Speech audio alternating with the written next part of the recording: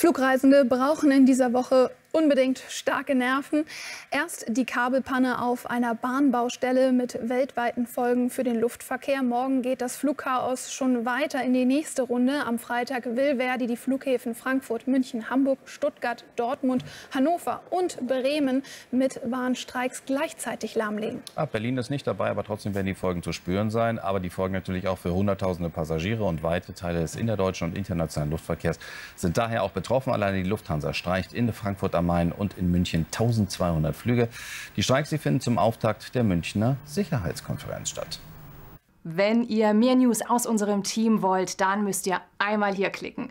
Wenn ihr auf der Suche seid nach spannenden Dokus, starken Reportagen, dann geht's hier entlang. Und wenn ihr Welt abonnieren wollt, neu entdecken wollt, dann einmal hier klicken.